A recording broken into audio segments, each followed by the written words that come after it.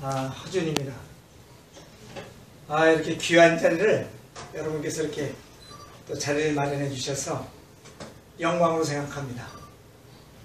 에, 저희가 이렇게 아직 경험이 없는 사람을 이렇게 내세워 주셔가지고 아, 오늘 열심히 해보겠습니다. 아, 오늘은 이제 세 번째 강의로요. 아, 우리 모든 사람이 다 병으로부터 자유함을 얻으라. 다 얻을 수 있습니다. 여러분도 저와 함께 함께 갑시다. 아, 병으로부터 자유로워질 수 있는 우리 모두가 되기를 저는 기원합니다. 아, 제가 한 10, 지금은 또 13년 전이죠. 아, 80이 뭐 80이 넘으신 그 노인분이 그 전화가 왔어요. 아, 통증이 있어가지고 화장실도 못 가고 그래서 가봐, 가서 이제 병원을 모시고 갔더니 에, 예, 사진을 다 찍어봤습니다.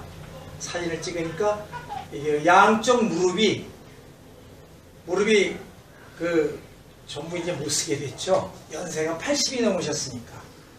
그래서 거기 완전 그 병명 그러니까 퇴행성 관절염. 요즘에 제일 어려워하시는 병이 뭐냐면 퇴행성 관절염입니다. 나이가 이제 50대, 50에서 이제 60 이렇게 되시면요. 거의 그 관절들이 많이 망가져요. 특히 여성분들. 여성분들은 관절이 많이 망가지죠.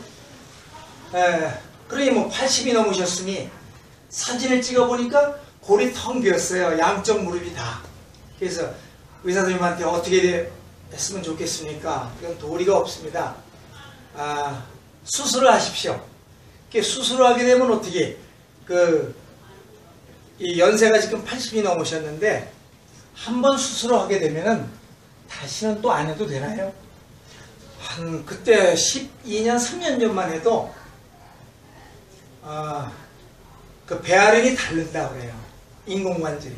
그래서 또 배아령을 교체해야 된대요. 그러면 이렇게 연세가 많으신 분을 그 수술을 하는 것도 굉장히 비용도 많이 물 비용은 뭐 한 달에 한해 300만 원씩 이렇게 한 600 정도 들어간다고 그러고 비용도 많이 들뿐 아니라 또 한 번 치료하게 되면은 이제 그 전신 마취를 하게 되지 않습니까? 그래서 굉장히 힘든 상황이더라고요.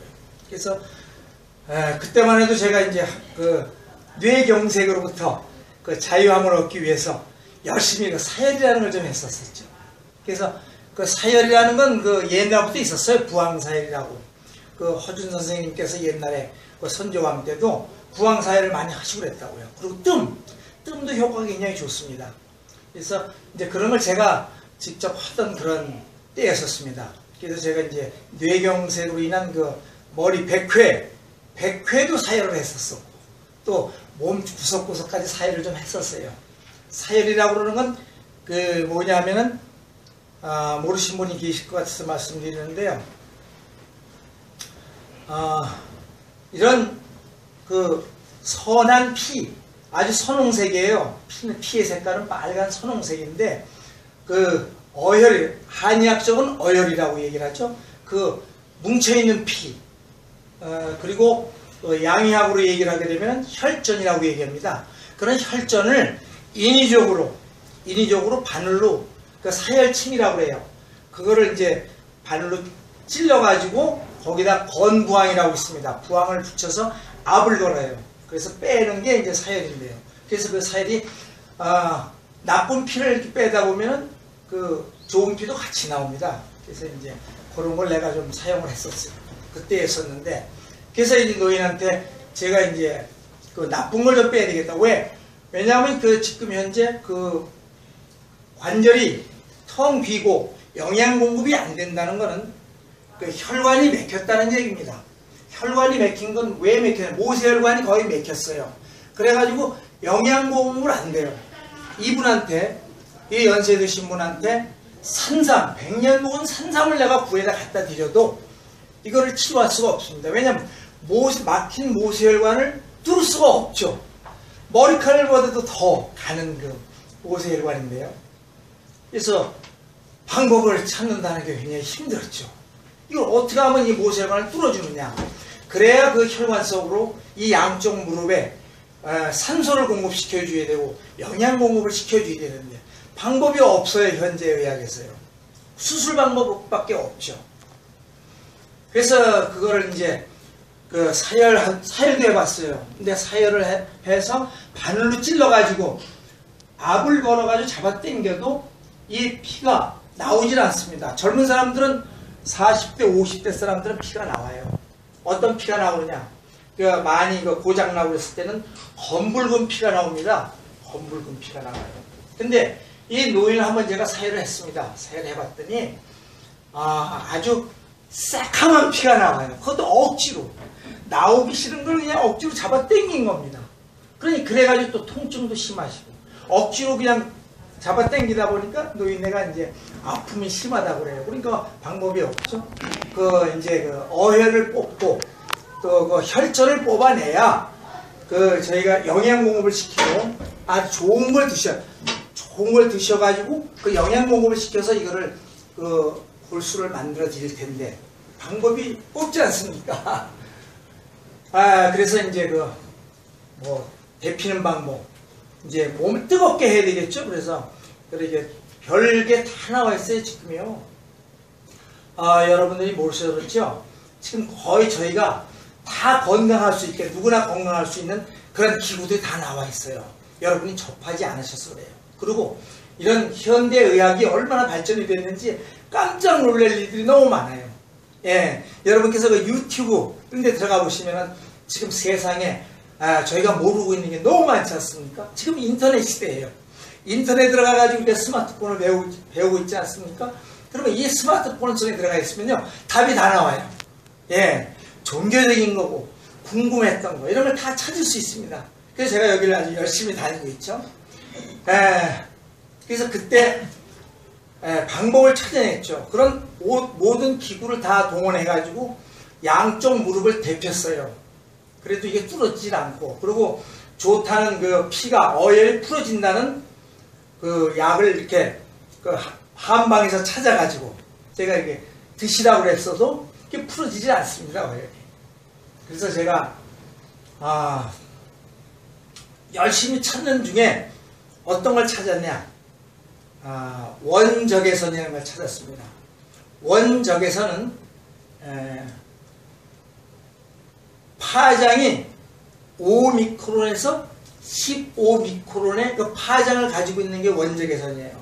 근데 원적외선의 지금 지금 에, 원적외선을 잘 모르고 계세요. 전문가들 이외에는 광의학을 공부하신 분 이외에는 근적외선이 있고 원적외선이 있습니다. 근데 보통 병원에서 쓰고 있는 게 근적외선을 많이 쓰고 있어요.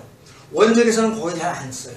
근데 병원에서도 그걸 원적외선으로 잘못 하실 이런 그런 의사 선생님도 계셨었어요. 제가 그걸 직접 대화를 나누는 과정에서요.